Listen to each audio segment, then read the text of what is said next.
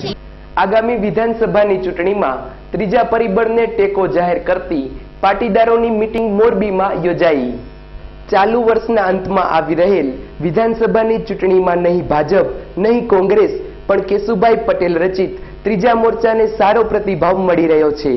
ત્યારે મોરબી માળિયા વિધાનસભા મત વિસ્તારમાં પણ આના પડઘા પડ્યા છે અને યુવા નેતાઓ તેમજ અલગ અલગ જ્ઞાતિના આશરે ત્રણસો જેટલા યુવાનો અને આગેવાનોની એક ગ્રુપ મિટિંગ મોરબી ખાતે મળી હતી, જેમાં આગામી ચૂંટણીમાં ત્રીજા મોરચા તરીકે ઉમેદવારી કરવી અને ત્રીજા મોરચાને સહકાર આપવા અપીલ કરવામાં આવી હતી.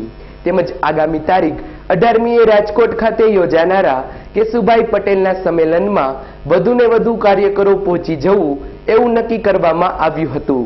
અહેવાલ સત્યમ હંસોરા સેવન ન્યૂઝ, મોરબી.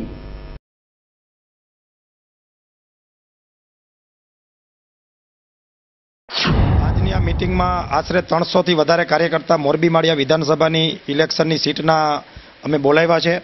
આ કાર્યકર્તાઓની સામે અમે આખે આખો મોરબી માળિયા વિધાનસભાનો ચિતાર મૂકવાના છે અને અમે આગામી દિવસોમાં કેશુભાઈ જે પ્રકારે સમાજનું એક સંગઠન બનાવી અને આખે આખા ગુજરાતની અંદર નેતૃત્વ પરિવર્તનની વાત કરી રહ્યા છે.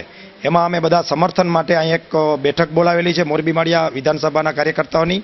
અને એની અંદર અમે પણ બાપાના સમર્થનમાં જોડાવા માટે એક આખો કાર્યક્રમ આગળમાં ઘડી રહ્યા છીએ.